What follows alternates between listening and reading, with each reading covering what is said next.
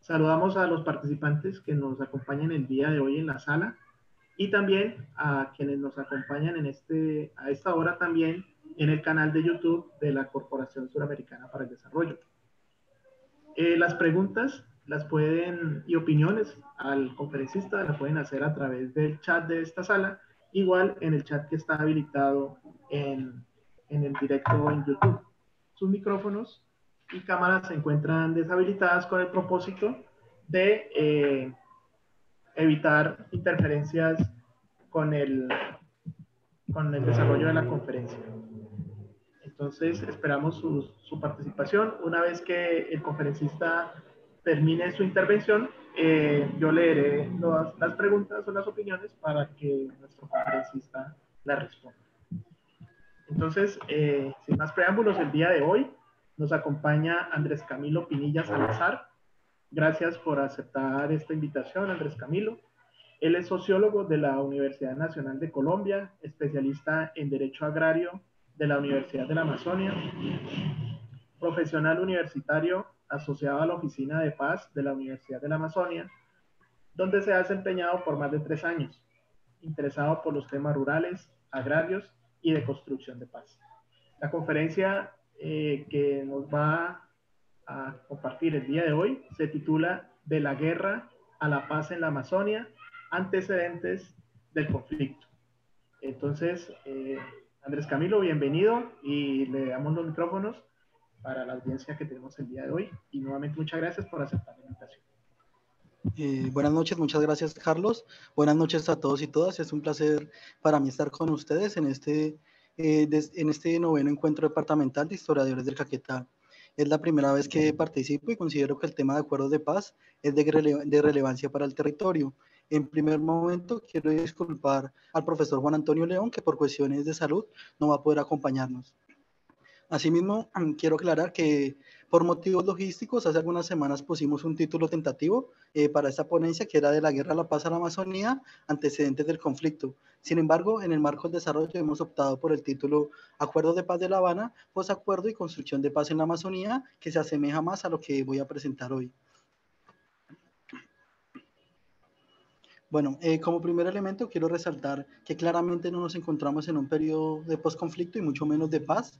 Eh, al respecto, Christoph Harnisch, jefe de la, de la delegación del Comité Internacional de la Cruz Roja en Colombia, ha manifestado que no se puede hablar de posconflicto, puesto que subsisten al menos cinco conflictos armados en el país cuatro de ellos entre el Estado colombiano y grupos armados ilegales, el primero con el Ejército de Liberación Nacional ELN, el segundo con el Ejército Popular de Liberación, el tercero con las autodefensas gaitanistas de Colombia y el cuarto con las estructuras de las FAREP que no se acogieron al proceso de paz.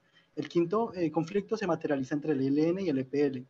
En el caso del Caquetá hay algunos rezagos de las estructuras de FARC que no se acogieron al acuerdo de paz y que hacen presencia en algunos municipios del norte del departamento. Pero también hay otro actor que representa una amenaza para el territorio, eh, me refiero en este caso a los grupos de narcotráfico que se han ido posicionando en los municipios del sur de Caquetá.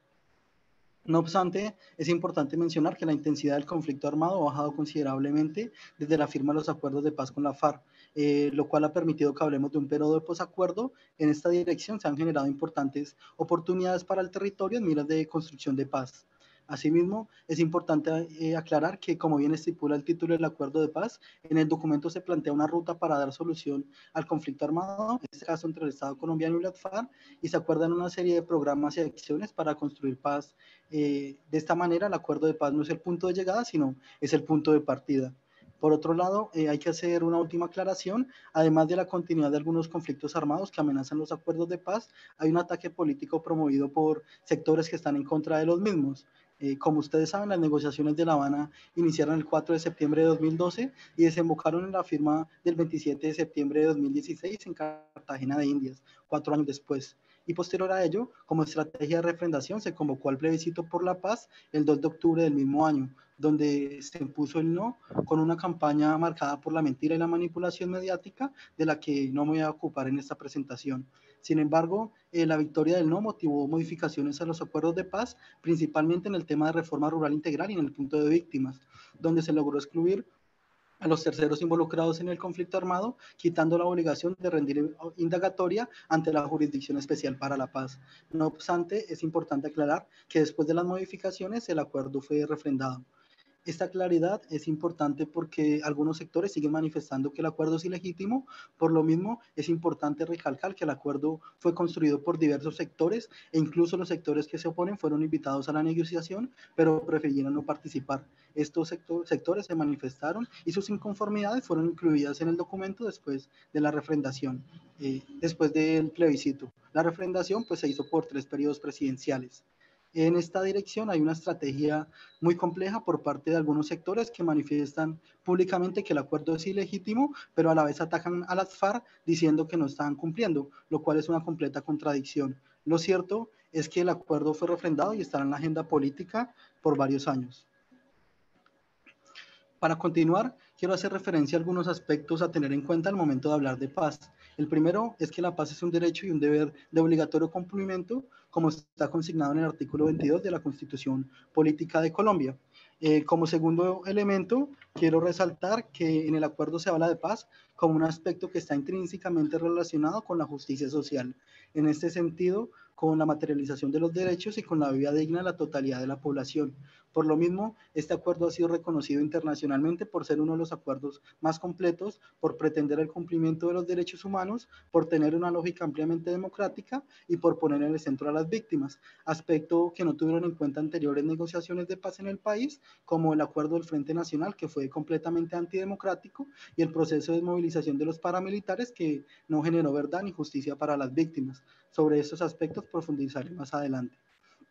Por otro lado, es importante señalar que la paz no se construye de un día para otro, sino que es un proceso y por lo mismo eh, muchos de los programas como los PEDES y el PENIS, de los que también va a hablaremos más adelante, fueron pensados a 10 años o más.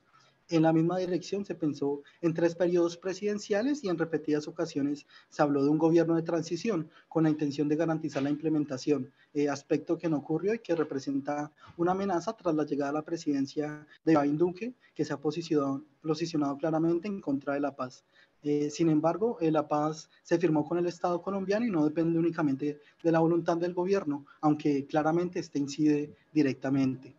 Asimismo, eh, quiero señalar como última idea que la paz eh, sigue siendo un escenario de múltiples eh, disputas, en tanto los conflictos siguen latentes. No obstante, se, se intenta posicionar la palabra y la negociación política para la resolución de los mismos. Para cerrar la discusión sobre el tema de paz, considero que es importante resaltar el desarrollo de Johan Galtung. Él es un matemático y sociólogo noruego que es referente en temas de estudios de conflicto y estudios de paz. Galtung nos habla de la paz como un aspecto que trasciende la ausencia de la guerra. En esta dirección expone que hay dos maneras de ver la paz. La paz positiva, que se puede entender como la capacidad de una sociedad para cubrir los derechos y las necesidades de sus ciudadanos y de solucionar los acuerdos de manera pacífica. De esta manera es una paz que intenta mitigar la violencia estructural, pero también la violencia cultural y la violencia física o directa. Por otro lado está la paz negativa, que es aquella que se centra en el cese de los conflictos bélicos, es decir, en detener las guerras y la violencia directa sin prestar atención en el bienestar y en la calidad de vida de sus habitantes. Eh, de esta manera, la paz negativa ataca la violencia física, pero no actúa contra la violencia estructural y cultural. Eh, Galton eh, formula por primera vez la distinción entre paz positiva y paz negativa en el primer número de la revista de investigación para la paz en 1964, definiendo la paz negativa como la ausencia de violencia y de guerra y la paz positiva como la integración de la sociedad humana. Eh, un desarrollo, digamos, posterior es el que se ha planteado con la idea de paz imperfecta, que comprende tanto la paz negativa como la paz positiva, puesto que su foco de interés se sitúa tanto en los instrumentos de prevención de las manifestaciones de la violencia directa como en los mecanismos de reducción de los niveles de violencia estructural. Eh, finalmente, eh, antes de hablar del contenido de los acuerdos y sus avances, hay que hacer claridad que los acuerdos de paz se firman entre actores que tienen el poder, en este caso el gobierno nacional que ostenta el poder político y las FARC que tenían el poder de las armas. Sin embargo, eh, ningún actor que ostenta el poder eh, firma algún eh, tipo de acuerdo de paz para rendirse ante el enemigo. Por lo mismo, en los acuerdos de paz no hay vencidos o vencedores, sino una tregua para transitar a la solución de los principales problemas que atacan el país. Hay también eh, otros autores que han planteado que la paz eh, se construye mediante un cambio generacional, en tanto pues las personas que vivieron en la guerra, pues digamos, van renovándose y pues llevan otras generaciones que pues no tienen esos regalos de la violencia. También otros autores que han planteado pues que eh, la construcción de paz puede tardar lo mismo que ha durado el conflicto y pues que en Colombia le haríamos entonces de 50 años. Eh, desde esta manera, y pues digamos con esas aclaraciones, me voy a referir a la propuesta que surge a partir de los acuerdos de paz para consolidar paz en los territorios, planteando algunos debates entre los antecedentes históricos que motivaron el conflicto, lo acordado y los avances del acuerdo de paz a cuatro años de la firma de los mismos. En lo personal, considero que uno de los aspectos más importantes y pues que está en el centro de la presentación es eh, el que el acuerdo pues plantea el enfoque territorial. En ese sentido, la mayoría de programas que surgen del acuerdo de paz plantean como condición la participación activa de las comunidades y de las organizaciones de los territorios, dando un avance a la descentralización, a la construcción de planes, proyectos y políticas públicas de manera participativa y aprovechando los conocimientos que tiene la población de los territorios rompiendo de esta manera eh, la lógica de construcción de política pública desde Bogotá.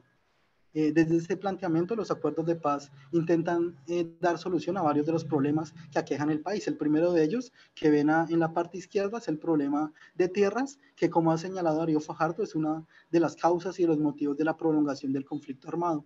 De igual manera, uno de los de los principales problemas y más deshonrosos para el país son las brechas y las barreras en el acceso a derechos básicos como la salud, la vivienda, eh, la alimentación y el trabajo digno. En esta dirección, en los acuerdos pues, se plantean eh, los programas de desarrollo con enfoque territorial PEDED y los planes nacionales para la reforma rural integral que componen el punto uno de los acuerdos hacia un, hacia un nuevo campo colombiano, reforma rural integral. Como segundo acumulado de problemas y que pueden ver en la parte derecha de sus pantallas, está el tema de la participación política y del sistema electoral, que ha estado inmersa, inmerso en cantidad de escándalos. Pero eh, también, pues, hay una evidente falta de participación y de representación eh, de los territorios, principalmente de la ruralidad, eh, hay una falta de garantías para las organizaciones políticas y para los partidos de oposición eh, que pues digamos históricamente han sido asesinados y pues que ha obligado eh, a que las armas sean la única forma de defensa y pues también de participación política. Como tercer elemento y pues que está en la parte superior en color rojo está la reincorporación social y política, la reincorporación social, política y económica de los exguerrilleros y exguerrilleras de FARC, que es clave para transitar de las armas a la política y para generar mejores condiciones en los territorios. Como cuarto, cuarto punto, en un gris claro está eh, el punto eh, de sustitución, en un gris oscuro es el punto de sustitución de cultivos de uso ilícito, pues que eh, digamos que realmente lo que plantea principalmente es cambiar el paradigma de la lucha contra las drogas, que se ha centrado en atacar al eslabón más débil. En ese sentido, ha atacado principalmente al campesinado, que es el que menos gana de la economía de las drogas. Y como último aspecto, pero pues uno de los más importantes del acuerdo de paz, es el punto de las víctimas, el punto de justicia y víctimas, en el cual eh, se crea el sistema integral de verdad, justicia, reparación y no repetición. Ya más adelante vamos a profundizar sobre los mismos. Eh, algunas ideas que me parece importante eh, aclarar es que en antiguos acuerdos de paz se habló únicamente de la dejación de armas y de los beneficios de los firmantes y eh, pues digamos que este acuerdo pensó en múltiples problemáticas y el único punto que atañe directamente a las FARC es el punto 3 que es el de reincorporación. Asimismo, algunas ideas que están en la parte inferior, el acuerdo aboga por la justicia social, por la democracia social, por los derechos humanos, por el derecho de las víctimas, pero también por la seguridad jurídica de los firmantes eh, intenta brindar garantías para la no repetición y en definitiva contiene más beneficios para la sociedad que para los firmantes. Eh, como lo decía en anteriores negociaciones, los firmantes eh, promulgaron amnistías y se repartieron el poder. a diferencia, pues acá solo está el punto 3 y los demás pues atañen a los problemas que tiene el país. En esta dirección, como ya lo mencionaba, pues el punto 1 es el de reforma rural integral eh, pues que plantea acciones en tres direcciones. El primero, el punto de tierras. El segundo, el tema de los programas de desarrollo con enfoque territorial eh, para mitigar y pues para favorecer el acceso a derechos eh, fundamentales y los planes nacionales para la reforma rural integral. El punto, digamos, que llamó principal atención y pues que fue el primero de la agenda fue el tema de tierras. Eh, sobre el problema de tierras, en Colombia hay un importante desarrollo de académicos como Darío Fajardo, como Alejandro Reyes y como Absalón Machado. Además, eh, hay un trabajo importante del Centro Nacional de Memoria Histórica, cuyas investigaciones han señalado que la apropiación, el uso y la tenencia de la tierra han sido eh, motores del origen y de la perduración del conflicto armado. Eh, en el caso del Caquetá, el libro La Tierra no basta nos acerca al desarrollo sobre el problema de la tierra desde un contexto histórico que plantea la manera en que fue ocupado el territorio, el papel de la guerra en, este, en, esta ocupación y los procesos de colonización dirigida que potenciaron la llegada de colonos y que instalaron las actividades económicas que incluso actualmente eh, se desarrollan. Eh, digamos que la pregunta es ¿por qué la Tierra? Y pues creo que digamos es importante mencionar pues que la Tierra puede suplir al menos tres de las cinco necesidades básicas para la vida, como lo es la alimentación, eh, la vivienda y el trabajo o el ingreso. Eh, sin embargo, eh, pues la tierra ha sido un, un, papel de disputa en Colombia, no es algo nuevo, sino que ha existido casi que se podría decir desde la independencia, teniendo en cuenta que eh, en Colombia se impuso un modelo de explotación de la tierra eh, del sistema español que promovió el esclavismo, eh, las relaciones desiguales entre propietarios y trabajadores rurales y que promovió la gran propiedad. Asimismo, en diferentes periodos de guerra se concedieron importantes exenciones a militares, a políticos, bajo la figura de títulos reales en esta dirección, eh, Darío Fajardo, cuyo análisis eh, se centra en la cuestión agraria como factor desencadenante del conflicto social y armado en el país, plantea que eh, para las primeras décadas del siglo XX habían unas tensiones en cuanto al agro, eh, la primera es una excesiva concentración de la propiedad, un hondo desorden en las formas de apropiación de tierras baldías, una débil legitimidad de los títulos de propiedad y la persistencia de formas autoritarias arcaicas en el seno de la propiedad sin ningún apego a las normas laborales. Estos aspectos pues que perduraron por todo el siglo XX y que incluso podemos decir que perduran en la actualidad. Por lo mismo, eh, durante este siglo se realizaron diferentes procesos que intentaron materializar la reforma agraria, eh, buscando cambiar la estructura de la propiedad y de la producción de, la tierra que estaba excesivamente acumulada y pues que ponía muchas barreras para eh, diferentes personas, familias campesinas, para acceder a la tierra. Eh, en el caso colombiano, pues eh, durante el siglo XX hubieron diferentes intentos para que el campesinado pudiera acceder a las tierras. El primero de ellos fue eh, con la ley, la ley 200 de 1936 durante el gobierno de Alfonso López Pumarejo, que posibilita, pues, crea, digamos, como esa posibilidad de la adjudicación de baldíos y que crea también una figura que es la extinción de dominio, eh, cuando pues no se cumple la función social de la tierra, aunque bueno, es una figura que poco se ha usado en el territorio. Más adelante pues está la ley 135 de 1961, eh, pues que plantea la reforma social y agraria, crea el Instituto eh, colombiano para la reforma agraria en Cora, que coordinó algunos procesos de colonización dirigida, como los del Caquetá, estrategia que, contrario a solventar eh, los problemas agudizó los mismos debido a que los proyectos que pretendían asentar a las familias desalojadas por la violencia en los departamentos de Jaqueta, Meta y Arauca por medio de créditos, capacitación y titulación de baldíos,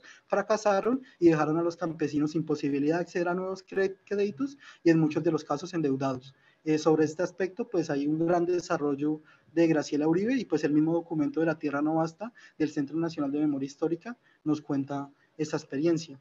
Eh, a nivel normativo también es importante mencionar que eh, eh, aparece la ley segunda de 1959, la menciono porque pues esta crea las zonas de reserva forestal, que son una de las limitaciones para acceder a la tierra de los campesinos, pues que vamos a abordar más adelante. En materia jurídica pues está también la ley 160 de 1994, que crea el Sistema Nacional de Reforma Agraria y Desarrollo Rural Campesino. Es importante pues porque plantea algunos subsidios para la adquisición de tierras, establece la unidad agrícola familiar como medida para la adjudicación de baldíos, crea las zonas de reserva campesina y además plantea por primera vez la idea de la importancia de consolidar la paz y la justicia social en el campo colombiano. Eh, sin embargo, pues estos avances quedaron principalmente a, nivel jurídico. A pesar de, estos esfuerzos, eh, las élites políticas y económicas se valieron de todos los medios para concentrar la tierra durante el siglo XX, eh, algo que se tradujo en mayor desequilibrio de la distribución de la tierra y que agudizó la crisis del campesino y le dio más poder al, terrateniente. De esta eh, manera, pues la tierra que en cierto sentido es importante para el campesino y pues que constituye su identidad desde el mismo, eh, para las élites pues constituye principalmente poder eh, político y poder económico, pero también eh, un poder militar. Bajo estas lógicas, pues el paramilitarismo realizó diferentes incursiones, durante la década de 1980, 1990 y los 2000, que dejaron alrededor de 8,4 millones de hectáreas despojadas y más de 6 millones de campesinos desplazados. campesinos que, como lo decía, vivían de esta tierra y que construyeron su identidad a partir de la misma. Eh, digamos que con esto, eh, eh, estas, estas cifras, pues digamos que me ayudan a argumentar las ideas que he manifestado anteriormente. estas cifras surgen de el censo agropecuario de 2015 y plantean pues que 0,01% eh, de los dueños eh, pues son dueños del 60% de la tierra. Asimismo que 1% de las fincas eh, ocupan el 81% del territorio, en ese sentido el otro 19% pues se reparte entre las 99, el 99% de las otras fincas. Asimismo, que el 74% de la tierra está en mano de hombres y solo el 26% está en mano de mujeres. Otra de las eh, cifras que nos plantea el Censo Nacional Agropecuario es que eh, las tierras aptas eh, para la explotación agropecuaria en el país son 37 millones, de las cuales 22 millones son aptas para la agricultura y solo 15 millones para la agricultura. Pero pues lo que está pasando es inverso. De en el país, pues digamos, están aptas 37, pero realmente se están explotando en este momento 53 millones. Eh, de estas, de estos 53 millones, 34 millones están siendo explotados para ganadería y solo 8 millones están siendo explotados para agricultura. Eh, también digamos que una cifra importante es que los predios de, más de mil hectáreas eh, dedican el 87% de su territorio a la ganadería y solo el 13% a la agricultura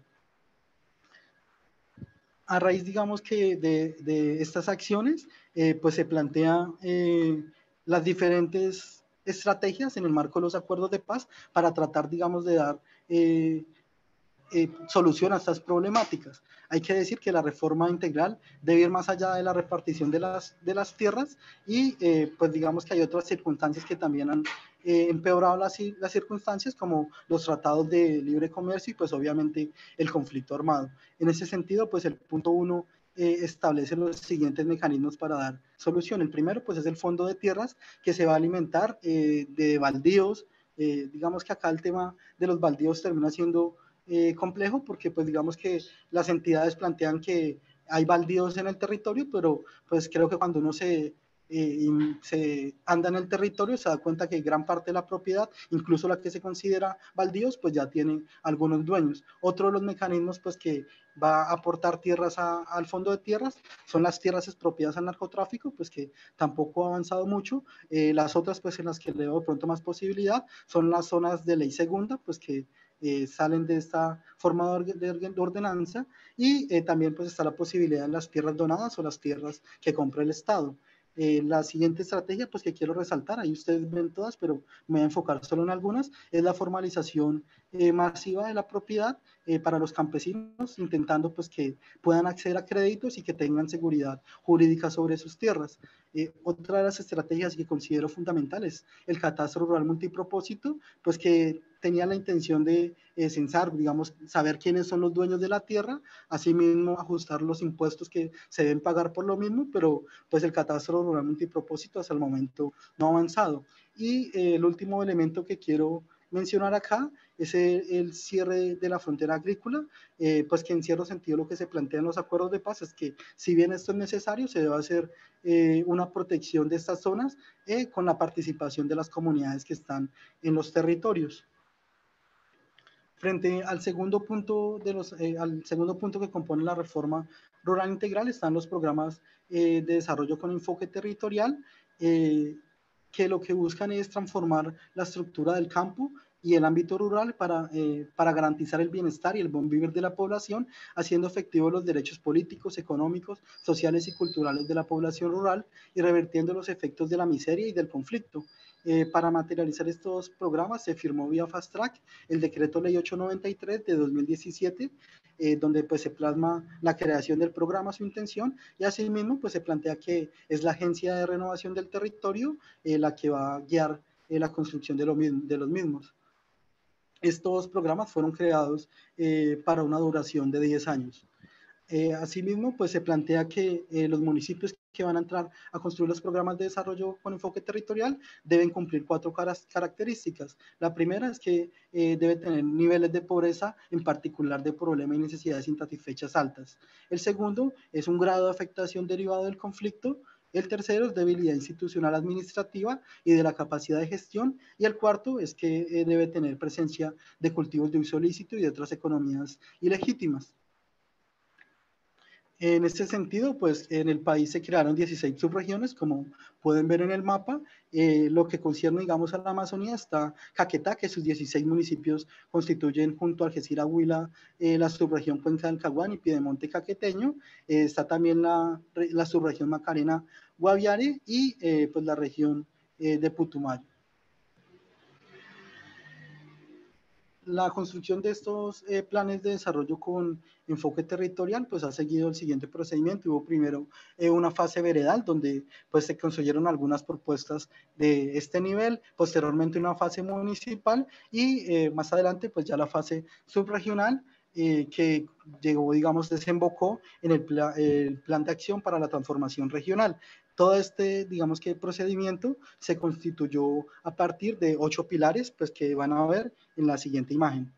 Eh, las discusiones pues, de las comunidades y las propuestas que construyeron se orientaron en esos pilares. El primero es el pilar de ordenamiento social de la propiedad rural y uso del suelo. El segundo es el de infraestructura y adecuación de tierras. El tercero, el de salud rural. El cuarto es el de educación rural.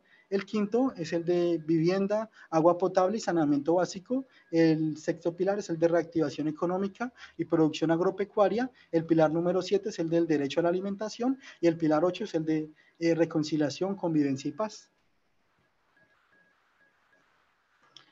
Asimismo, están los planes nacionales para la reforma rural integral, eh, que yo creo que como ustedes pueden ver son necesidades de indispensable, indispensables para la vida. El primer plan nacional para la reforma rural contempla eh, pues eh, mejoras en el tema de vías, electricidad y conectividad en sistemas de riego. La segunda, en formalización eh, laboral, rural y protección social, puesto que eh, la mayoría de campesinos no tiene acceso a salud y, y obviamente tampoco a pensión. también es importante el tema de mercadeo, pues porque estos productos que se cultivan deben tener una cadena donde puedan desembocar y se puedan comercializar. Asimismo, eh, algunos subsidios para la generación de ingresos y créditos, asistencia técnica y el fortalecimiento de la economía solidaria y de la economía cooperativa. El tercer plan, eh, pues es el de desarrollo social, plantea eh, acciones en vivienda, agua potable, educación rural y salud. Y el último tiene que ver con el tema de la alimentación, programas de alimentación, programas de nutrición, pues para evitar las muertes por hambre.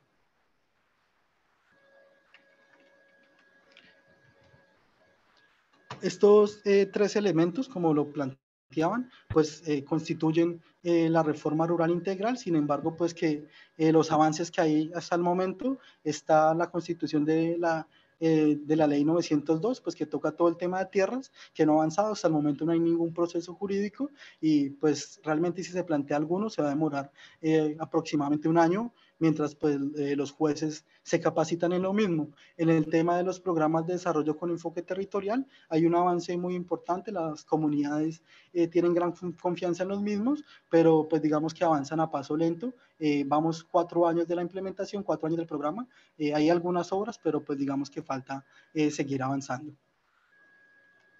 Para continuar está el punto 2, que es el punto de la ampliación de la democracia, eh, pues que nos toca en cierto sentido la participación política, pues que debe fortalecerse para garantizar la solución política de los problemas y para garantizar la construcción de paz, eh, teniendo en cuenta que sin democracia difícilmente vamos a construir paz. De esta manera, en el marco del acordado se pensó en tres elementos. La primera, generar garantías para la oposición. La segunda, eh, generar estrategias para ampliar la participación política. Y la tercera, eh, mejorar el sistema electoral. Eh, todo esto teniendo en cuenta que hay diversidad de problemas que limitan la participación política y que demuestran la fragilidad del sistema electoral, entre ellas la plena desconfianza eh, por la facilidad con la que se ha hecho fraude en Colombia, eh, la compra de votos, la transhumancia, el, voto de personas muertas, pero también el asesinato de líderes sociales y de candidatos principalmente de izquierda.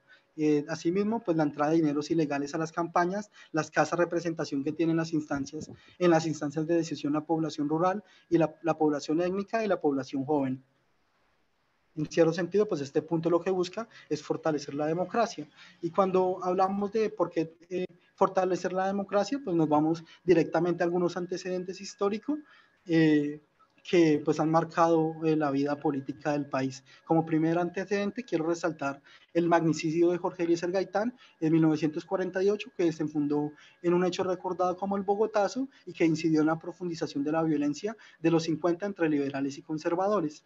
Como segundo antecedente hay que resaltar el fraude electoral de 1970, en el que Misael Pastrana Borrero ganó la elección presidencial del último periodo del Frente Nacional por el Partido Conservador, eh, frente, a un frente al candidato de la Alianza Nacional Popular ANAPO, Gustavo Rojas Pinilla.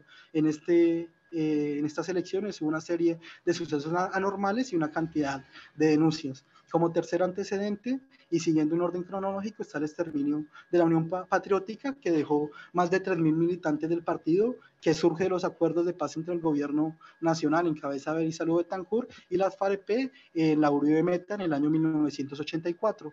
Como tercer elemento hay que destacar el asesinato de Luis Carlos Galán, candidato presidencial por el Partido Liberal, asesinado el 18 de agosto de 1989 durante un evento público de su campaña y eh, donde pues según las investigaciones hay diferentes sectores involucrados, principalmente desde el narcotráfico.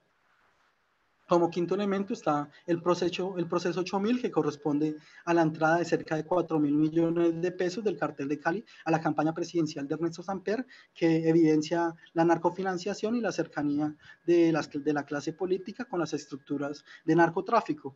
Y el sexto, pues que ratifica lo que mencioné anteriormente, es el acuerdo de Santa Fe de Ralito en Córdoba, en el que cerca de 100 políticos y funcionarios de Córdoba, Sucre, Bolívar y Magdalena, con jefes paramilitares, entre ellos don Berna, Salvatore Mancuso, Diego Vecino y Jorge 40, eh, se reúnen con la intención de formalizar una alianza eh, que ellos llamaron para refundar la patria.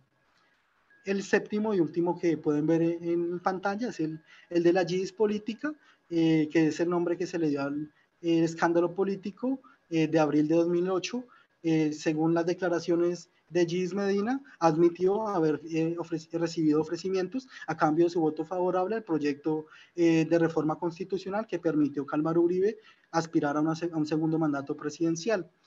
para cerrar, digamos que más que hacer un listado, quiero pues traer a colación estos antecedentes, eh, mostrando, digamos, la importancia que tiene eh, generar acciones para transformar el sistema electoral y el sistema político del país. Y eh, presento pues un último, que creo que es en el que el país cayó en el peor de los cinismos, que son las elecciones de 2002. Para este caso, Juan Carlos Galindo, que se desempeñaba como eh, procurador de asuntos electorales, eh, elaboró un informe en el que después de sus investigaciones planteó que había índice de fraude en más de 20.000 mesas, es decir, en aproximadamente el 45% de las mesas instaladas. Eh, frente a estas acusaciones, el Consejo Nacional Electoral manifestó que no podía actuar y solo unos años después el Consejo de Estado anuló 1.700.000 votos, quitando algunas curvas, pero pues ya digamos para los últimos meses de este periodo.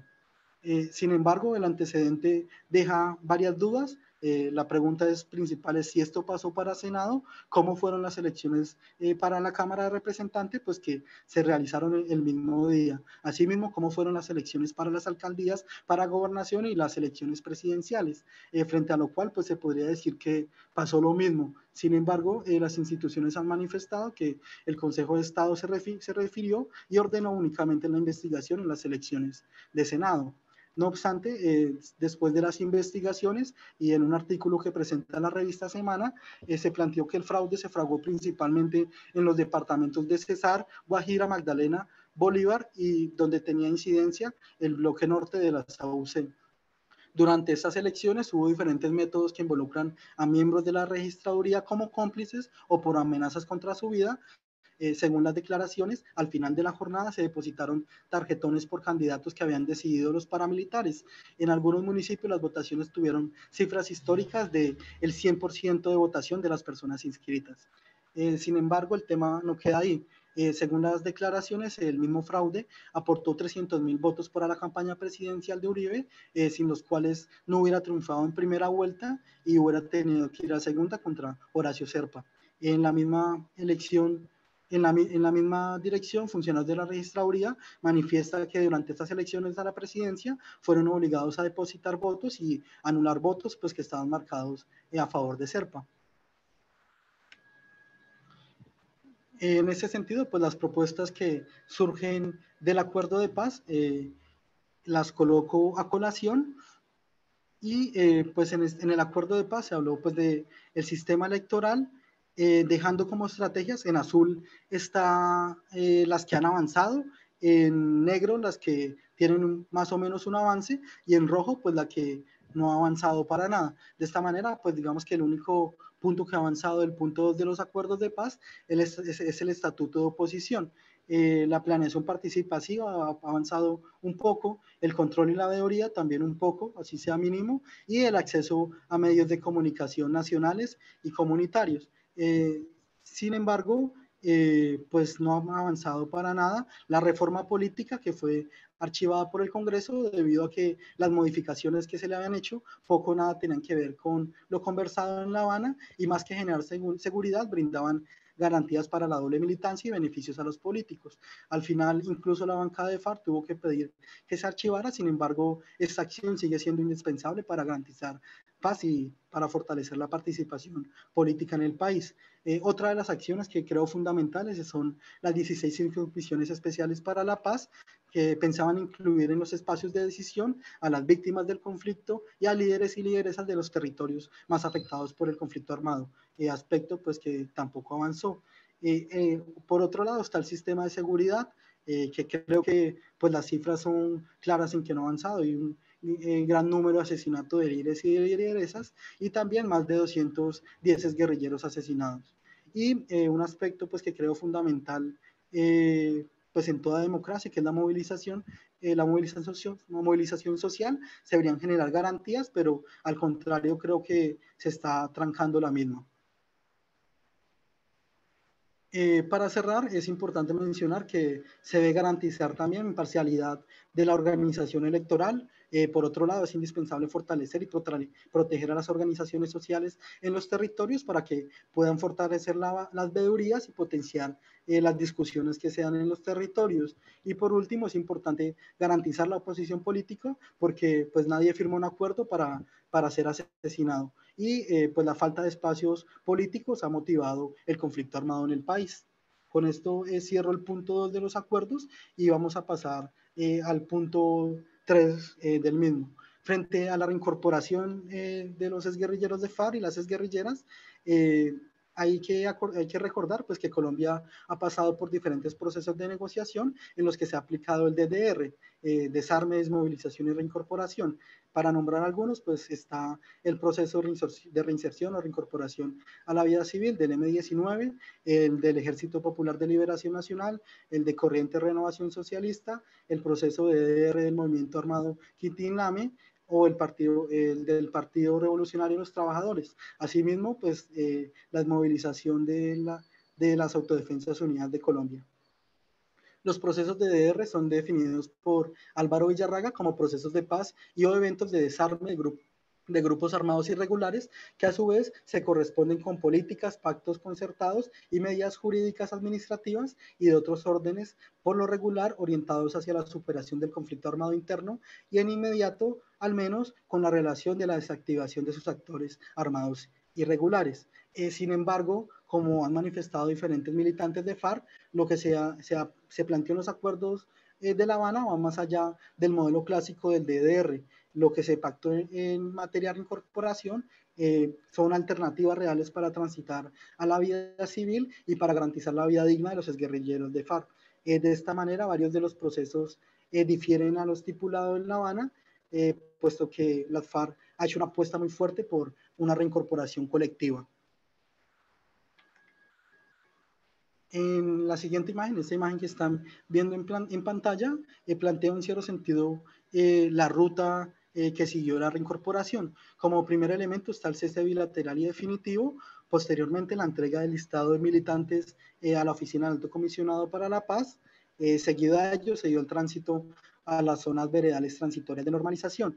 Eh, la señalo porque pues estas zonas fueron creadas para garantizar el acceso a derechos de los exguerrilleros y las exguerrilleras, pero también de sus familiares. Eh, diferentes textos han ahondado en las bondades de esta figura que ha permitido el diálogo con las comunidades aledañas, la participación de las familias y que han constituido eh, estos espacios como espacios de reconciliación y claves en la reincorporación territorial y comunitaria. Eh, en diferentes ocasiones el gobierno nacional ha querido manifestar que estas figuras son transitorias, sin embargo la experiencia y las posturas de los militantes de FARC eh, han puesto y han manifestado pues que estas figuras fueron constituidas para fortalecer la reincorporación, para garantizar los derechos de los mismos y eh, de las futuras generaciones, en ese caso de sus hijos. Posterior a la llegada a las zonas veredales transitorias de normalización, se procedió a hacer el tema de indultos y amnistías a los delitos políticos. Eh, luego de esto, eh, la Universidad Nacional, en una experiencia en la que pude participar, y pues bueno, que marcó en cierto sentido mi llegada definitiva al territorio, se realizó el censo socioeconómico de los exguerrilleros de FARC. Este proceso pues, eh, fue motivo porque pues digamos que empezaron a llegar muchas familias a ver a los hijos que no veían por mucho tiempo, incluso pues también eh, muchos exguerrilleros que estuvieron separados eh, volvieron a encontrar a sus amores. Como siguiente paso, las FARC entregaron el listado de bienes que mostraré más adelante. Eh, se realizó asimismo el proceso de, dejación de armas ante la misión de verificación de la ONU, eh, cuya cifra también pues mostraré más adelante. Y eh, pues, procedió la, la, zona veredal transitoria de normalización, pasó a ser espacio territorial de capacitación y, y reincorporación, donde pues debían llegar todas las oportunidades para estudio, para vivienda, bueno, para diferentes acciones. Como último aspecto, hay que mencionar que para vigilar el cumplimiento de todos estos protocolos, en el acuerdo final de paz se creó el mecanismo tripartito de monitoreo y verificación compuesto por miembros del gobierno nacional, eh, miembros de la FAREP y de la misión de verificación de la ONU, el cual se encargó de vigilar la correcta ejecución de lo, de lo planteado, además de analizar situaciones de riesgo y dar soluciones a inconvenientes que se daban durante la marcha. Bueno, eh, según las cifras presentadas en el informe de reincorporación eh, de la Agencia Nacional de, la Agencia de Reincorporación Nacional para enero de 2020, eh, fueron acreditados 13.330 como miembros de FARC, de los cuales 13.065 siguen en proceso de reincorporación, es decir, más del 97%. De estos, 2.901 eh, residen en los espacios territoriales de capacitación y reincorporación y 9.000 residen fuera de estos. Eh, asimismo, no se conoce el paradero de 821 guerrilleros, eh, sin embargo, esto no significa que hayan vuelto a las armas, sino pues que han vuelto con sus familias o con sus comunidades y no han tenido contacto con la agencia de reincorporación. Según eh, un informe de la Fundación Unidas para la Paz, eh, la mayoría de guerrilleros han abandonado los espacios territoriales, eh, puesto que prefirieron retornar a sus regiones. Algunos salieron por problemas o por las demoras que tuvieron en la instalación de las zonas veredales transitorias de normalización y otros decidieron continuar individualmente con sus familias.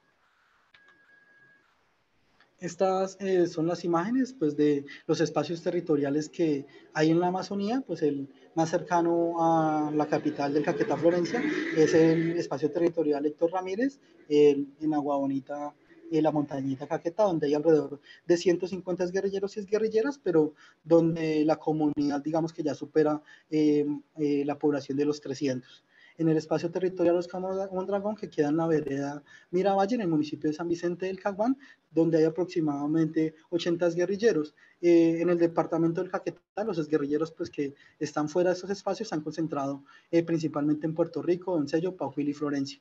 Asimismo, pues está el espacio territorial Elier Mosquera de la Carmelita Putumayo y el ETCR Urias Rondón de la Macarena Meta, pues que está eh, inmerso en esa disputa de litigio entre Caquetá y Meta.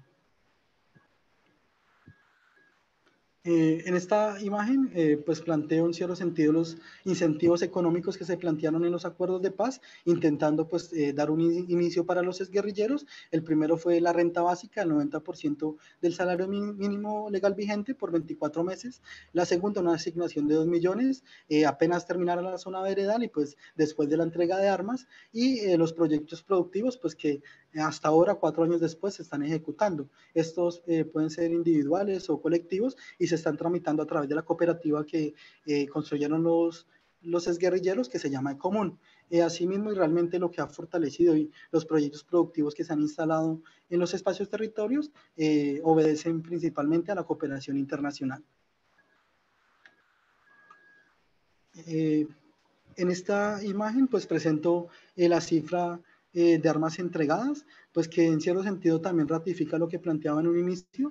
Eh, en ningún momento fue un acto de rendición y pues creo que todo este arsenal, eh, más que digamos a aludir a, a la cantidad, pues demuestra que el arma se pudo el conflicto se pudo prolongar por mucho más tiempo, eh, pero pues que la decisión es fuerte pues a, a la solución eh, de los conflictos de manera negociada y por medio de la palabra. En este caso pues se entregaron un total de 8.994 armas, eh, asimismo pues una cantidad de cartuchos que llega casi a los 2 millones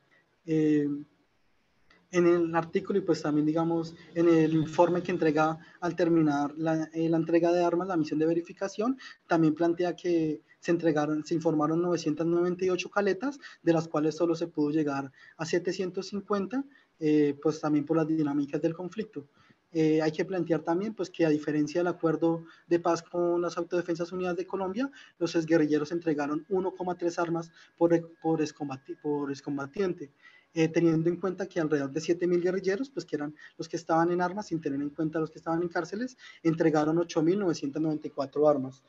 Eh, Asimismo, pues digamos ya en comparación con el proceso de desmovilización de las AUC, es, en este se entregaron 0,6% eh, armas por cabeza y pues digamos con ciertas problemáticas porque muchas armas no funcionaban o eran simplemente las armas de entrenamiento.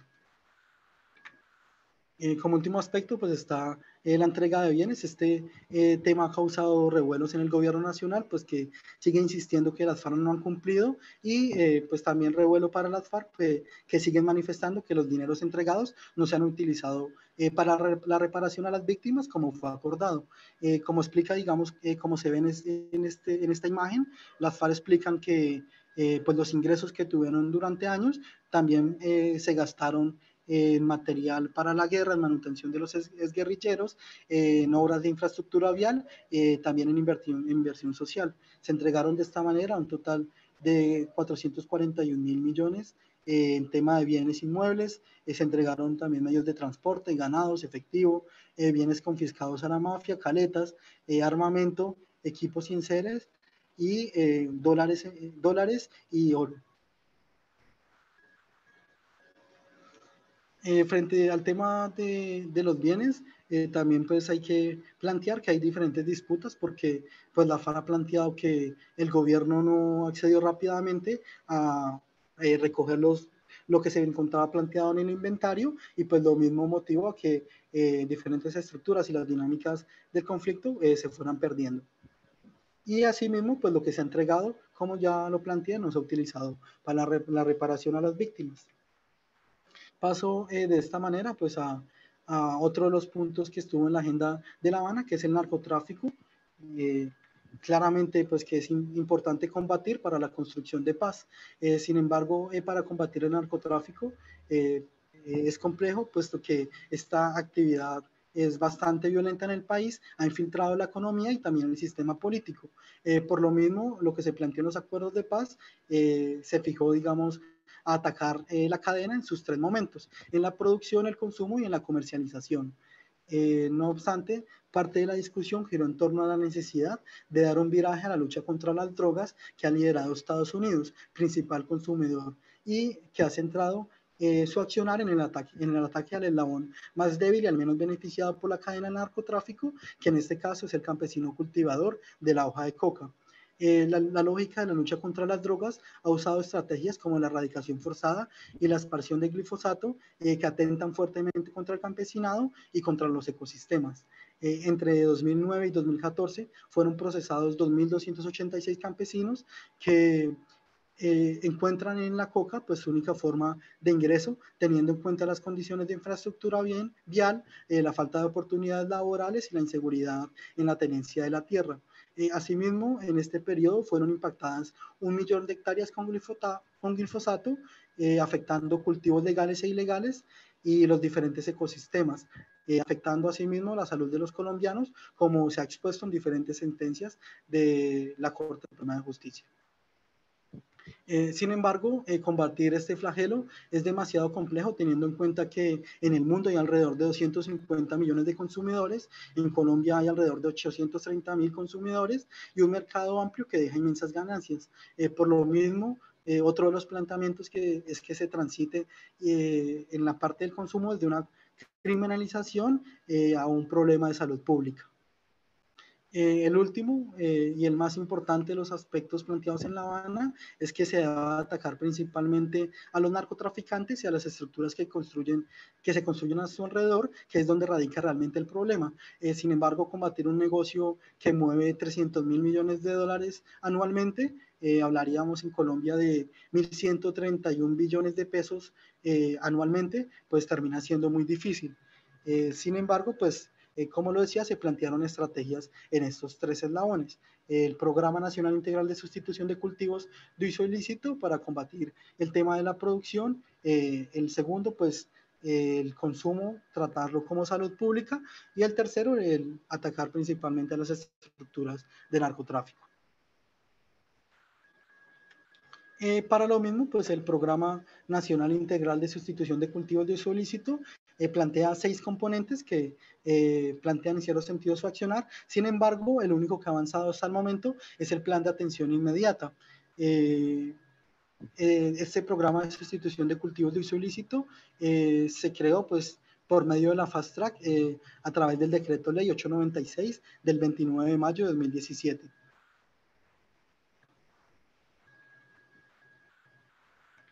Eh, este, el plan de atención inmediata de, del programa PENIS eh, tiene la siguiente estructura. Se plantea principalmente 12 pagos mensuales de un millón de pesos para los campesinos inscritos en el primer año, aunque pues vamos ahorita a cuatro años y muchos municipios no han, no han recibido la totalidad de los pagos y algunos eh, sin explicación alguna fueron descartados. Asimismo, se plantean de proyectos productivos a corto plazo eh, para el autosostenimiento y la seguridad alimentaria, estos proyectos eh, por un valor de 1.800.000 por familia.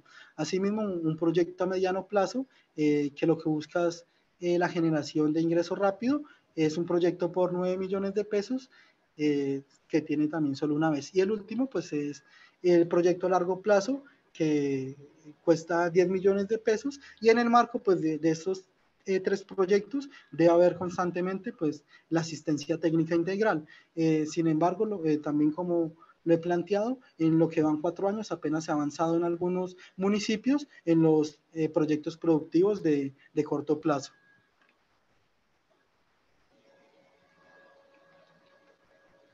En lo que, en lo que corresponde al Caquetá, se ha avanzado en pagos solo únicamente en en 8 de los 16 municipios, otros fueron excluidos y eh, no se ha acabado con la totalidad de los mismos. Asimismo, pues hay una serie de familias suspendidas, pues que eh, también termina siendo complejo porque muchas de ellas ya sustituyeron la hoja de coca. Eh, hay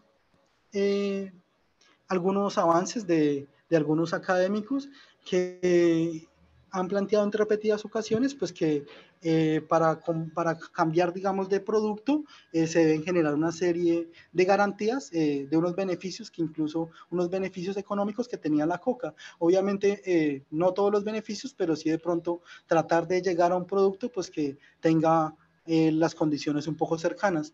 Estas condiciones y beneficios económicos de la coca está primero pues en la estabilización de los, de los precios, eh, había una estabilización en el caso del caquetá que lo estipulaba FARC, eh, sobre el precio que se pagaba al gramo de pasta base. Asimismo, pues es un producto que es fácil de transportar, eh, los insumos para su procesamiento estaban al alcance, eh, tenía cuatro cortes al año y pues había un valor agregado. El campesino no vendía la hoja de coca, sino pues vendía la pasta base. Asimismo, pues creo que ya fundamental para todo el tema de la economía de la coca es que tenía un mercado seguro. Eh, termina siendo problemático y las cuatro líneas que coloco acá es en cierto sentido esas líneas que se han planteado para los eh, proyectos productivos a largo plazo. Se ha planteado ganadería, palma, cacao, caucho, no recuerdo la otra línea, pero pues termina siendo problemático porque precisamente estas economías son las que han potenciado la deforestación y el monocultivo en la Amazonía, pues que eh, son territorios muy nuevas y que se eh, desgastan fácilmente, principalmente con esas actividades de alta intensidad. Eh, a nivel nacional, pues inscribieron un total de 99 mil familias, de las cuales en el Caquetá pues están el 13,1%. Hay que decir que, pues, según el, informe número 19 de la UNOCDC, que eh, fue publicado el 12 de noviembre de 2019. El cumplimiento de los campesinos cocaleros es del el 95% y solo hay un 5% de incumplimiento. Asimismo, eh, la resiembra de hoja de coca eh, solo pues, se dio en 0,4%. En ese sentido, pues hay un cumplimiento muy fuerte por parte del campesinado colombiano. En resumidas cuentas, el punto de sustitución se puede eh, plantear en la siguiente eh, imagen, sustitución voluntaria, eh, tomar el consumo como un problema de salud pública y combatir el narcotráfico. sin embargo, incumpliendo los acuerdos de paz, el gobierno nacional sigue optando por la erradicación forzada e incluso con la amenaza de recurrir nuevamente a la expresión de glifosato, que como han demostrado diferentes académicos no ha funcionado y por el contrario ha dispersado los cultivos, llevándolos incluso a parques naturales y áreas protegidas cada vez más remotas. En, en, últimas, el acuerdo trata de sustituir la economía ilegal eh, sin dejar de lado los derechos y la calidad de vida del campesinado. Eh, frente, digamos, a lo que ha avanzado en el Caquetá, hay una pelea muy fuerte porque desde el principio se planteó una articulación entre el PDET y el programa de sustitución que hasta el momento no se ha fraguado, eh, pero asimismo porque los espacios de participación no han funcionado de la manera que deben, como lo son la Junta de Direccionamiento Estratégico y el Consejo Permanente de Dirección. Asimismo, pues se ha hecho diferentes llamados para que el Consejo Asesor Territorial, otro espacio de participación, eh, atienda pues la exclusión de los municipios como Solano, Milán, Solita, Valparaíso, los que no, y Albania, los que no se les han hecho pago, y pues que en estos hay 4.655 familias que no están recibiendo y que muchas de ellas eh, quitaron la coca de sus, tierras. Eh, el tema de contratación de recolectores es también mencionarlo porque, pues digamos que los acuerdos no solo buscan beneficiar a los dueños de la tierra y a los eh, productores, sino también a toda la economía que se eh, generaba a raíz de ello. los recolectores también pues siguen a la espera, solo se ha contratado en la montañita. Y por último, pues han habido diferentes manifestaciones, principalmente en San José del Fragua, donde la comunidad pide que haya nuevas inscripciones, eh, pues también teniendo en cuenta que en el país han habido tres intentos de programas de sustitución que han fracasado, han terminado en entregas de algunos dineros, en algunas fotos de algunos proyectos productivos, pero pues realmente no ha llegado a nada. Y en este caso, pues hubo falta de pedagogía y también desconfianza por muchas familias que ahorita quieren acogerse. Esto es importante porque eh, muchas de las acciones y las decisiones que toma la UNOCDC se hacen por eh, fotos satelitales y como hay familias cercanas, muchas veces eh, pues se cree que hay coca en territorios donde los campesinos ya la quitaron. Por último, el tema de víctimas, el sistema integral de verdad, justicia, reparación y no repetición. frente a eso, pues es importante decir que eh, los diferentes acuerdos de paz en Colombia eh, jamás habían tocado el tema de, víctimo, de víctimas. En los procesos de los años 90, con los diferentes guerrillas, se crearon algunos programas regionales para las víctimas que, que nunca se ejecutaron.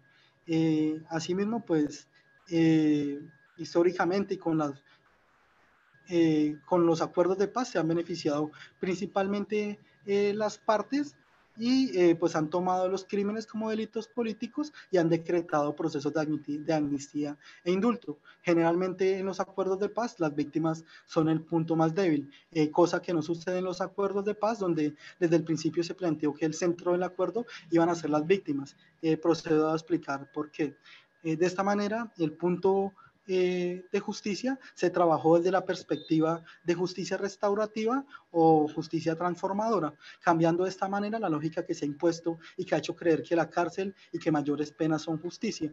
La justicia restaurativa eh, se utiliza en procesos de negociación e intenta eh, generar instrumentos conciliatorios de de negación y de mediación. De esta manera, no solo se intenta resolver el conflicto, sino restituir las relaciones sociales, fortalecer las mismas y generar convivencia. Eh, por lo mismo, en el marco del acuerdo de paz, varias personas hablan de la justicia transformadora, en tanto no se limita únicamente a la mediación penal, sino que se aplica toda una forma de resolución de conflictos eh, para mejorar las relaciones sociales. En este sentido, desde el ofrecimiento de la verdad a las víctimas, desde la construcción de la, de la historia del conflicto armado de diferentes voces y desde el encuentro de personas eh, que desaparecieron en el marco de conflicto y pues que es importante encontrar. De esta manera se crea el sistema integral de verdad, justicia, reparación y no repetición, el cual explicaré brevemente más adelante. Eh, a pesar de estos avances, algunos sectores siguen manifestando que va a haber impunidad eh, por el hecho de que no va, no va a haber cárcel, bueno, va a haber cárcel. Sin embargo, pues esto es falso porque en el acuerdo eh, planteado se, se, plantea que va a haber eh, amnistía e indulto para los crímenes políticos y castigo para los crímenes de lesa humanidad. De, lesa humanidad. Eh, sin embargo, también se plantea la oportunidad de las penas alternativas que corresponden al trabajo, a trabajo social para las comunidades afectadas, eh, las cuales la Jurisdicción Especial de Paz va a estar pendiente de su cumplimiento. En todos los acuerdos de paz, pues se han ofrecido beneficios para los firmantes, eh, pero más allá de esto, lo que se plantea con este modelo de justicia a raíz del acuerdo de paz es un modelo eh, que genera oportunidad para construir la historia del conflicto, para ofrecer verdad y reparación a las víctimas. Eh, con la intención así de que todas las víctimas sean reconocidas y que todos los crímenes sean reparados. Asimismo, que todos los responsables, que todos eh, los responsables de crímenes eh, respondan ante la justicia. Eh, este es otro de los puntos de disputa de quienes se oponen al acuerdo de paz, puesto que en el marco del acuerdo de paz se aplicó el principio de, de universalidad. En anteriores acuerdos se optó por la unilateralidad, juzgando únicamente a los firmantes, como fue el proceso de desmovilización de los paramilitares, donde únicamente los paramilitares fueron juzgados y eh, donde incluso pues algunos agentes del Estado que pues habían tenido problemas de alianza con, con paramilitarismo tuvieron que ir a la justicia penal militar o a la justicia ordinaria. Eh, todo digamos que esto que se plantea y la pelea contra el sistema integral de verdad, justicia y reparación es promovido principalmente por sectores eh, que tienen responsabilidad en el conflicto y pues que creen que en cierto sentido eh, la impunidad que reina en el sistema ordinario pues los va a acompañar toda la vida. Eh, como lo planteaba pues en el, el principio de universalidad que está marcado en este eh, punto de víctimas, intenta que pues respondan guerrilleros, pero también paramilitares, agentes del Estado, políticos, empresarios eh, y empresarios que ampararon o financiaron el conflicto armado. La idea principal es que se ayuda a generar justicia, verdad y asimismo eh, que los, estos beneficios que se brindan sobre las penas alternativas ayuden a que se logre pues una verdad amplia. ¿Cómo lo planteaba? Pues eh, son más las bondades del acuerdo, aunque eh, claramente pues los sectores que están acostumbrados a la impunidad se han visto beneficiados. Eh, esta es digamos que una de las cifras eh, frente al tema de víctimas. En, la justicia ordinaria, pues los temas de desaparición forzada tienen una impunidad del 100%, eh, la violencia sexual contra la mujer tiene una impunidad del 98%, eh, los casos de desplazamiento forzado tienen una impunidad del 95% y el asesinato de sindicalistas tiene una impunidad del 98%. Eh, de esta manera, pues uno se pregunta para qué le ha servido el sistema de justicia a las víctimas, que fácilmente uno respondería que para muy poco. Y eh, pues digamos que esta justicia es la misma a la que quieren volver quienes se oponen al acuerdo. Como eh, lo digo, muchos sectores creen que siempre va a haber impunidad, pero los procesos poco a poco pueden ir avanzando y hay otras instancias como la Corte Penal Internacional que puede llegar en cualquier momento y por lo mismo lo más coherente es aprovechar los beneficios y aportar a la verdad. Eh, como anécdota, pues está eh, que en el proceso de negociación del M19 se propuso que hubiera una amnistía para generar plazas Vega y eh, pues este no aceptó el gobierno intentando ocultar los crímenes de Estado eh, no lo dejó y pues ahorita el general Plazas Vega sigue con problemas jurídicos.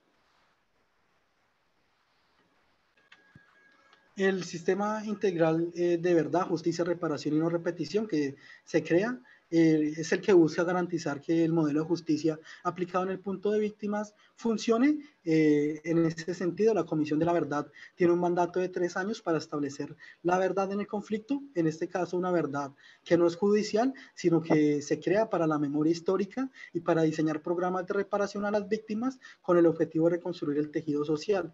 Eh, la Comisión de la Verdad debe también generar pactos de perdón, garantizar seguridad y garantizar que no se repita la violencia para contribuir a una paz duradera.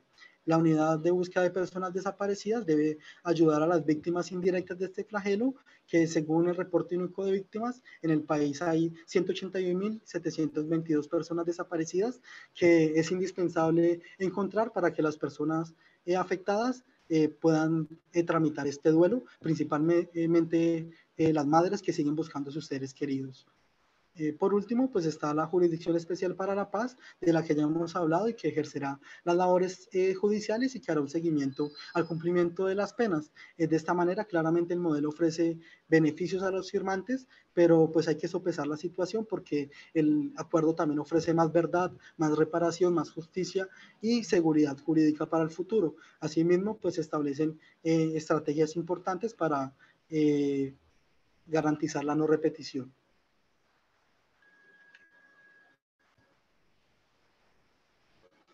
Eh, en esta imagen pues trato de colocar lo que han sido las negociaciones. En el país han habido 184 procesos de perdón judicial, 53 procesos de amnistía, 106 procesos de indulto, 17 procesos de amnistías con indulto y casi que en la mayoría se ha apelado por el delito político, diciendo de esta manera que eh, las víctimas no han existido, como plantea eh, Mario Aguilera de la Universidad Nacional.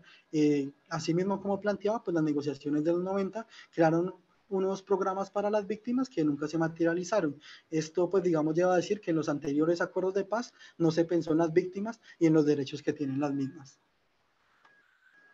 Hago acá una breve comparación, pues principalmente de Frente Nacional, de Justicia y Paz y de los acuerdos de La Habana, eh, planteando que en cierto sentido, eh, pues ofrece, digamos, unas mejores garantías para tramitar la justicia, pero pues como lo planteaba, una justicia eh, transformadora.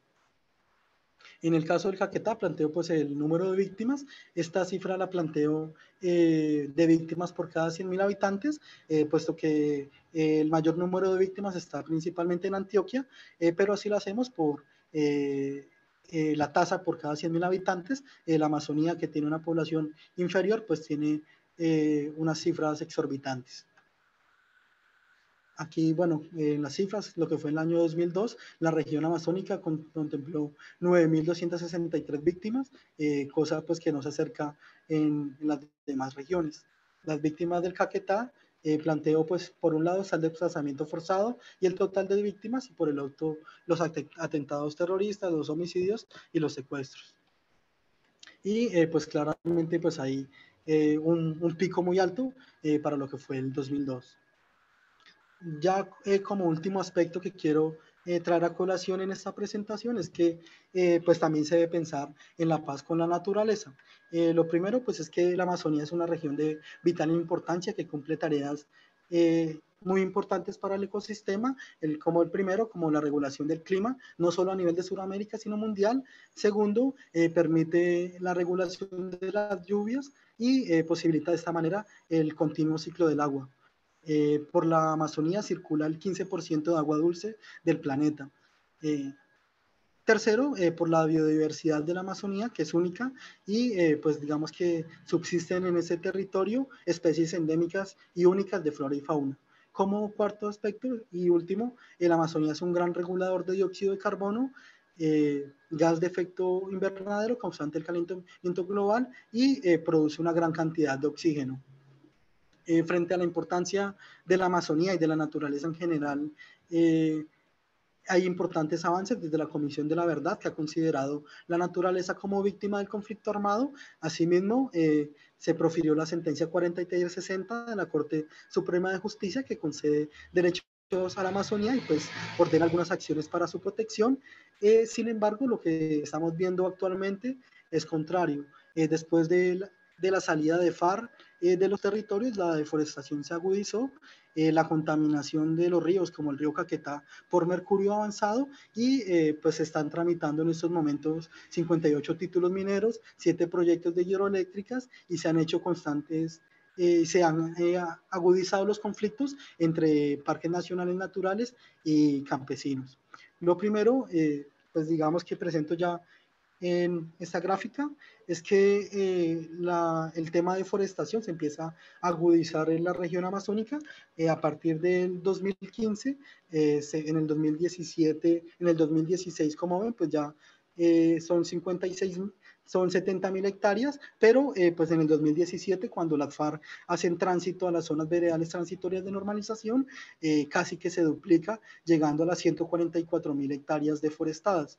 Eh, creo que pues acá están en cifras, pero pues una hectárea puede fácilmente ser tres estadios de fútbol, entonces estamos hablando de una extensión de tierra inmensa. ¿Cómo lo ven? Pues después de la salida de FARC de los territorios, todo lo que fue en el 2018 pues siguen 138 mil, en el 2019 hay una reducción, eh, sin embargo pues eh, creíamos que esta reducción se iba a prolongar también para el 2020, pero en el primer trimestre del 2020 eh, se plantea que hay una deforestación de 75 mil, lo que plantea que en el año pues la deforestación se pueda agudizar mucho más frente, eh, pues digamos que a estas problemáticas ambientales es importante mencionar que se debe avanzar en un modelo de desarrollo que sea sostenible para la Amazonía, que promueva la protección y la restauración ambiental. Asimismo, se debe avanzar en la propuesta de la conservación con las comunidades, eh, puesto que es mucho más fácil conversar, eh, conservar con ellas que conservar donde no hay nadie.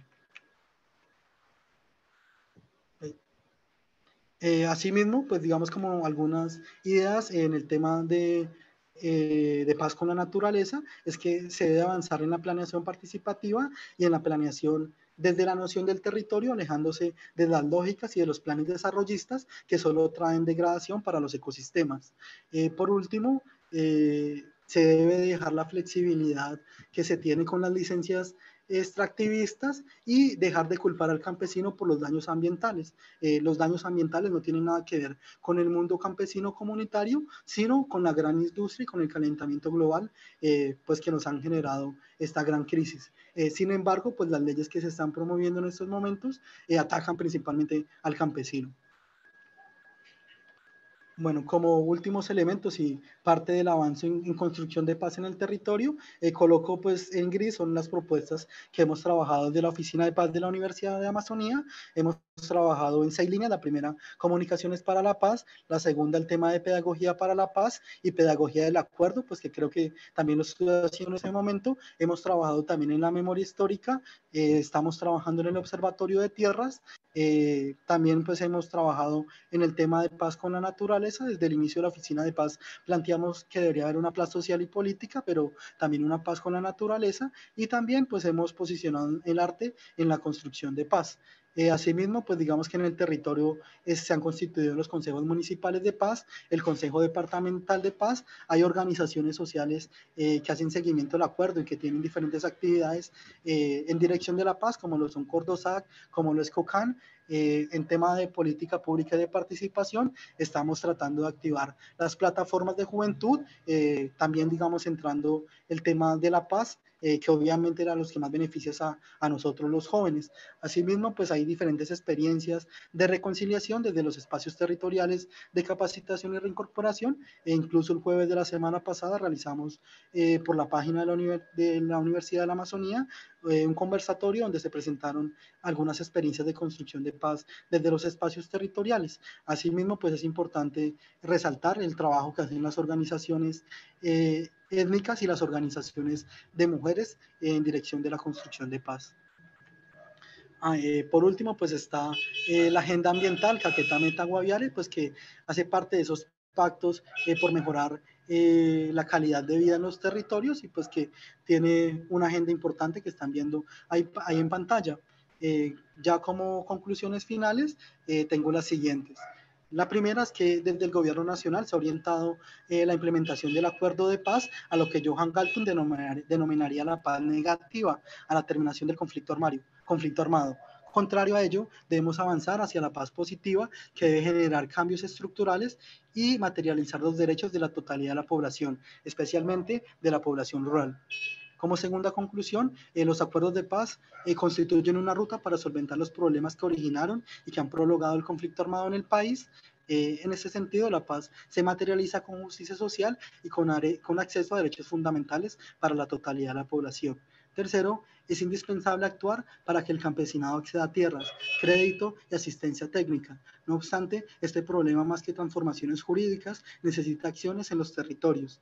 Sin embargo, mientras los gobiernos quienes mientras nos gobierne quienes ostentan el poder de la tierra y quienes ven al campesinado como enemigo, poco vamos a avanzar en el tema. Como cuarta conclusión es que los PEDES han avanzado y se constituyen en una herramienta de gran importancia para las comunidades que han puesto su confianza en ello. Sin embargo, hubo un gran problema por la falta de pedagogía al iniciar el, proceso y asimismo porque desde que se iniciaron los PEDES no se sabía los recursos con los que se iba a iniciar y eh, por último porque la planeación que está contemplada en los PEDET eh, debe estar en la formulación, pero también en la ejecución, en la veeduría, y eh, pues poco a poco se ha ido estancando. Eh, siguiente, la siguiente conclusión es que sobre el punto de ampliación de la democracia, hay que decir que está crudo, hay eh, algunos avances realizados por el Instituto Holandés eh, para la Participación Multipartidaria y como el mayor avance está el Estatuto de Oposición, sin embargo hay retos inmensos para disipar la violencia que ha estado presente en la vida política colombiana y que nomás este año ha dejado a 25 líderes eh, sociales asesinados y a 8 excombatientes asesinados. Como sexta conclusión es que eh, el punto que más ha avanzado es el punto 3 en lo que respecta a los compromisos de los exguerrilleros y exguerrilleras de FARC, eh, lo cual eh, incluso frente a la desidia siguen demostrando pues su voluntad de paz. Como séptima conclusión, frente al punto de sustitución, eh, hay un pleno compromiso de las organizaciones sociales, entre ellas COCAN, que sigue insistiendo en el cumplimiento pleno del PENIS. Eh, se debe detener los operativos de erradicación forzada y se deben disipar las ideas de aspersión aérea. Eh, la octava conclusión es que el tema de justicia se ha optado por la justicia transformadora, que va más allá de castigar, de castigar penalmente. Eh, la justicia transformadora busca reparar el tejido social, ofrecer verdad, reparación, seguridad jurídica a los firmantes y garantías de no repetición. En estas labores está comprometida la Jurisdicción Especial para la Paz, la Unidad de Búsqueda de Personas Desaparecidas y la Comisión de Esclarecimiento eh, para la Verdad. como novena conclusión es que eh, es importante no perder de vista la construcción de, la, de paz con la naturaleza, avanzar de esta manera en la consolidación de modelos de, desarrollo humano sostenible, desligando, desligando las ideas desarrollistas y, el y trabajando eh, de la mano con las comunidades. Como décima conclusión es que, aunque la implementación de los acuerdos de paz no se materialicen de la manera esperada, han logrado poner en evidencia más que nunca las problemáticas que tiene el país. Eh, la octava conclusión es que las élites políticas y económicas del país han declarado guerra directa a dos puntos del acuerdo de paz, la reforma rural integral y la jurisdicción especial para la paz, que limitan el poder de los mismos y que los obliga a rendir cuentas por sus acciones. Y eh, la, la, doceava conclusión es que desde el inicio se sabía que la paz no iba a ser fácil, eh, pues la paz sigue siendo un escenario de, de, disputa en el que es importante seguir trabajando y seguir posicionando las ideas. Ya las últimas tres conclusiones es que eh, no se debe caer en el pesimismo, aunque el gobierno de turno está oficialmente en contra de los acuerdos de paz e intenta frenar la implementación. Los acuerdos están pensados en tres periodos presidenciales y hay programas que van a 10 años o más. Eh, la 14 es que es indispensable un gobierno de transición, por lo mismo se debe consolidar una alianza política que apoye la implementación de los acuerdos. Y como última está que eh, las comunidades siguen movilizándose por la implementación de los acuerdos de paz, como pues ha sido constante en Meta, Guaviare, pero también en Catatumbo, Cauca y diferentes partes del país. Ya eh, ponían las últimas tres acotaciones en el documento, es que actualmente se decide la elección del cargo de la Defensoría del Pueblo, pues que obviamente es indispensable para la construcción de paz y para la materialización y por velar eh, por la seguridad de las comunidades. sin embargo, pues esto eh, no ha avanzado muy bien. Y eh, como últimos aspectos es que eh, personas que han trabajado firmemente por la paz, pues nos han abandonado, pero que nos dejan un legado muy importante, entre ellas María Ángela Salazar, que plantea una cita de ella que dice, cuando se camina con las víctimas se aprende a escuchar. Nosotras, las mujeres desde estas expresiones del arte, de la cultura, es que vamos diciendo qué nos pasó, cómo nos pasó y eh, que dejó en nosotras. Ella eh, ejerció como comisionada para la verdad del Pacífico y en los últimos días eh, nos, nos, abandonó. Y asimismo, Alfredo Molano, que era el comisionado de la macroregional Orinoquía Amazonía, colocó una cifra, una cita que me parece importante. es importante la aceptación de responsabilidades por hechos concretos. La verdad debe ser sólida, verificable y demostrable. Muchas gracias. Muy bien, muchas gracias eh, Andrés Camilo por eh, la ponencia que nos acabas de compartir el día de hoy. Eh, voy a proceder a leer las, las preguntas que han hecho los asistentes a través de esta sala y quienes nos acompañan a esta hora en YouTube. Tenemos una pregunta de Aura Liliana Quitiaque Segura. bueno, realmente son, ha hecho cuatro preguntas. La primera es qué elementos permiten hablar en Colombia de conflicto y no de violencia.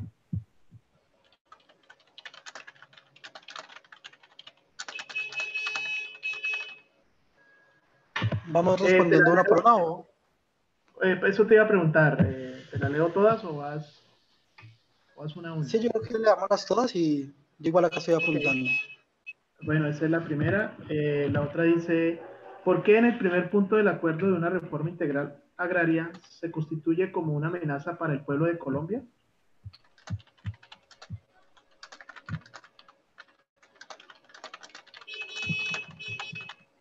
Vale, ¿cuál es la... La siguiente es, ¿por qué en las mesas de negociación de La Habana en Cuba no se tuvo en cuenta la participación del campesino colombiano?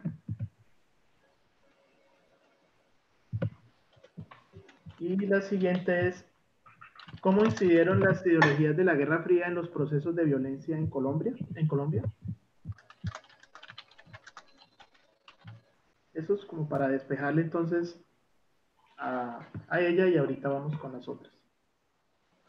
Bueno, eh, yo creo que aquí hablamos y diferentes autores han hablado que estamos en un conflicto armado, eh, también porque, pues como lo traté de expresar en toda la presentación, hay eh, unos motivos que llevaron pues a diferentes grupos a ir en contra del Estado, pues también está en cierto sentido el derecho internacional humanitario, que en cierto sentido ha regido este conflicto armado interno que hay y pues que en este momento se soluciona dando eh, digamos, algunas alternativas para tramitar eh, cada uno de los conflictos pues, que fueron motivando eh, las expresiones armadas en el país. El la segunda pregunta que asegura Liliana, creo que pues es la, la, la, apuesta que han intentado decir, pues que el, el, punto de reforma rural integral es una amenaza, pero realmente creo que ustedes vieron en la presentación, eh, tiene grandes beneficios para la población campesina, sin embargo, eh, pues para las personas que eh, ostentan las tierras y que las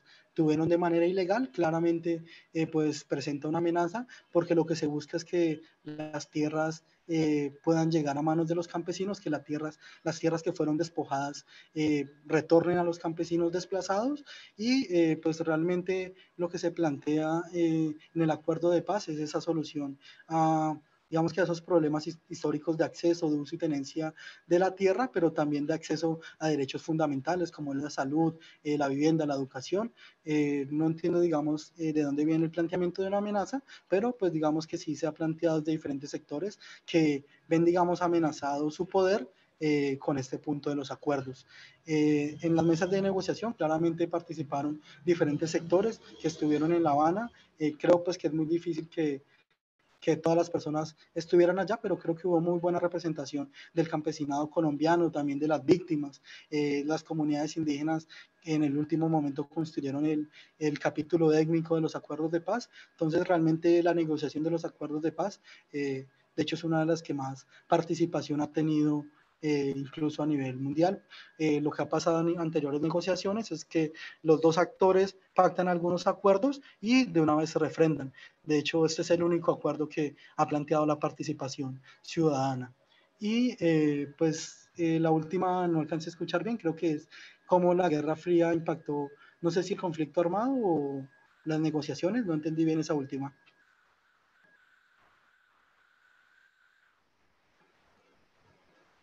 Es eh, cómo impactó la violencia en Colombia. Te repito eh, la pregunta. ¿Cómo incidieron las ideologías de la Guerra Fría en los procesos de violencia de Colombia? Bueno, pues yo creo que claramente habían unas eh, tensiones a nivel mundial, pues que disputaban, digamos, entre dos grandes potencias. Sin embargo, pues creo que, digamos, también lo que se ha intentado implantar y se ha intentado decir es que eh, realmente acá se sigue trabajando con, eh, pues pensando en ideologías extranjeras en otros lados, pero pues digamos claramente eh, tuvo alguna incidencia, pero pues digamos que también parte de lo que intenté mostrar en la presentación es que hay unos antecedentes que llevaron a este conflicto armado en el país. pues digamos que por esos años también viene todo el tema de la violencia bipartidista, del asesinato de Jorge Eliezer Gaitán, bueno, diferentes circunstancias eh, que motivaron el conflicto armado y pues claro, claramente había una tensión a nivel mundial, pero eh, pues digamos que no se puede decir únicamente que estas ideologías incidieron y pues desembocaron en el conflicto armado del país. Muy bien, eh, la siguiente pregunta la hace Aldo Manco de la Cruz.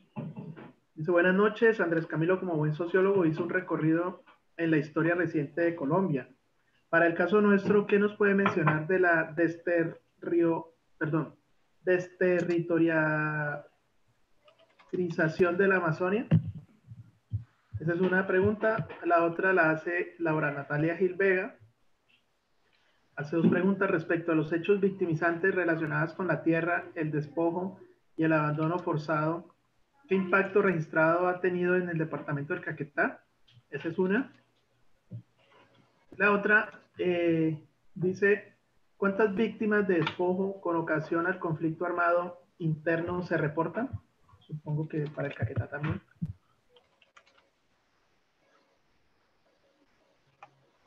Mm, vale, pues las cifras así concretas no, no las tengo a la mano. Eh, sin embargo, pues creo que digamos hay que aclarar que las dinámicas de despojo fueron eh, completamente diferentes. Eh, pues creo que, y también digamos lo que se contempla en la ley 1448, que es la ley de víctimas y de restitución de tierras, fue muy pensada en la lógica, pues digamos, del conflicto armado en el norte del país, lo que sucedió en Córdoba, Magdalena, y pues donde tuvo presencia las Autodefensas Unidas de Colombia, y pues creo que la presencia de FARC en tema de tierras obviamente eh, pues también impactó, pero no de la misma manera, en cuanto pues el accionar paramilitar pues tenía como objetivo apoderarse de las tierras como eh, una estrategia de poder militar, eh, pues de fortalecimiento militar, donde escondían las armas, donde se iban posicionando, pero también en una lógica muy con las élites políticas, donde pues iban desplazando a la población campesina y pues ahí se iban asentando pues estas élites. para el caso del Caquetá, pues eh, también, digamos, hay una problemática, es que pues en la costa eh, atlántica eh, la mayoría de campesinos pues eran dueños de la tierra, mientras que en el Caquetá, como lo dije, pues está la ley segunda. En ese sentido, pues muchos campesinos ocupaban las tierras, estaban pendientes, querían hacer el tema de adjudicación de baldíos, pero pues como estaban en zona de ley segunda, tierras inadjudicables, nunca tuvieron propiedad de la tierra. Esto pues complejiza más la situación porque pues ellos mismos eh, pues piden que haya restitución, pero eh, pues digamos que eh, se complejiza la situación. creo que digamos ahí respondería un poco al tema de despojo. Claramente pues sí hubieron situaciones, no en la misma magnitud que hubo en, en la costa atlántica, porque pues el objetivo eh, último de FARC era concentrar la tierra. Y eh, pues el tema de la desterritorialización de la Amazonía, pues creo que hay múltiples visiones de la Amazonía. Eh, comparto pues digamos la importancia que tiene, pero también es de, tiene una visión ancestral las comunidades indígenas, pero pues digamos que se han impuesto esa lógica eh, desarrollista y neoliberal, pues que ve la Amazonía únicamente eh, como una mercancía. Y en ese sentido, pues lo único que intenta hacer en estos territorios es eh, generar sus grandes proyectos y, pues en cierto sentido, cada vez desplazar más a la población que termina siendo pues más complejo todavía para las comunidades indígenas que tienen, digamos, una conexión más fuerte con el territorio. Muchas gracias, eh, Andrés Camilo. Eh, no tenemos más, más preguntas eh, en ninguna de las dos plataformas. Antes de, darte paso para que te despidas de, de, los asistentes del día de hoy, quiero aprovechar para invitarlos durante todos estos días hasta el viernes en el resto de conferencias que tenemos en este noveno encuentro departamental de historiadores del Caquetá. El día de mañana tenemos eh, la conferencia Conflicto Armado y Sociedad Civil en el Caquetá y nos va a acompañar como expositor Jorge René Pulecio Yate. El día miércoles tendremos la conferencia Los primeros tiempos de la conquista, búsqueda de oro, Amazonas y mujeres indígenas y nos acompañará el historiador Bernardo Tobar Zambrano. El día jueves tendremos la conferencia La importancia del libro de Eric Hobsbawm Historia del siglo XX y nos acompañará la historiadora Aneta Ikonomova. Y el viernes cerraremos con la conferencia entre Orgullo Nacional y Realismo Político, Colombia y el manejo de la cuestión Cerruti. Y nos acompañará el historiador Graciano Palamara de la Universidad Externa de Colombia. La profesora Aneta Ikonomova también es profesora de la Universidad Externa de Colombia. Entonces, esta es la programación que tenemos eh, de hoy hasta el viernes, todos los días a las seis y media de la tarde. Eh, se pueden, ya los que están registrados con el mismo código, pueden ingresar a las conferencias. Entonces, eh, Camilo, entonces te doy la palabra para despedirte a los, a los asistentes. Muchas gracias, Carlos, eh, por la invitación, por este espacio. Eh, creo que, como lo planteaba, es importante hablar de los acuerdos de paz, no como algo perdido, sino como una ruta para avanzar en la materialización de los derechos de la población en Colombia. Y bueno, eh, sobre las preguntas, creo que igual algunas fueron complejas, pero pues podemos seguir conversando ahí por el Facebook, por la página de la Oficina de Paz de la Universidad de la Amazonía y pues desde la Universidad de la Amazonía estamos completamente comprometidos con la construcción de paz, eh, así pues eh, lo hemos demostrado con nuestro accionar y pues con diferentes articulaciones a nivel eh, departamental, regional y nacional, como lo ha sido la Mesa de Gobernabilidad y Paz del Sistema Universitario Estatal, donde hemos intentado fraguar todas estas experiencias de paz y unir fuerzas para trabajar en la misma dirección.